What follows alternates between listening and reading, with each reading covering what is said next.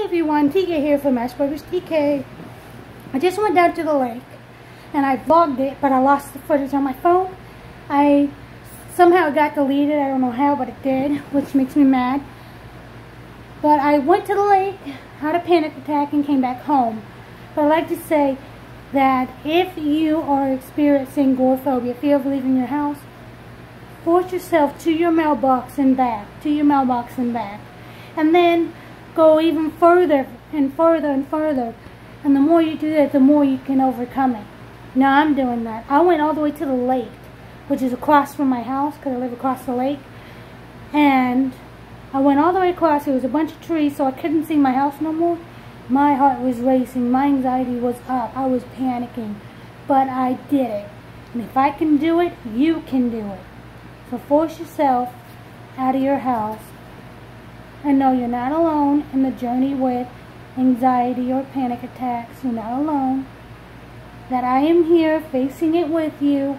If you want to chat with me, go to Asperger's TK on YouNow. I do live videos. And you can also go to Asperger's TK on Facebook and Asperger's TK on Instagram. And I will chat with you there.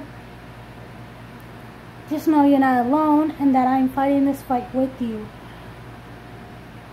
I'm just getting over the panic attack, so I'm trying not to talk as fast or as loud. Because when my anxiety goes up, I talk really loud and really fast. And I'm trying so hard not to do that. Because that's a big problem that I struggle with. But I know this is a really, really short video. But I just want you to know that y'all are loved by me and will always be loved by me and that if you need someone to talk to, go to Asperger's TK on Instagram.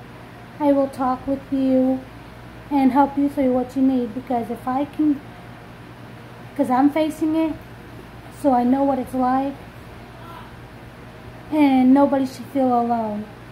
I have a whole family that I'm surrounded by and I still feel utterly alone. And it's not the greatest feeling in the world, it's just not. So if you're going through it, just know that I'm going through it too, and that we can fight the fight together. It's been TK over and out.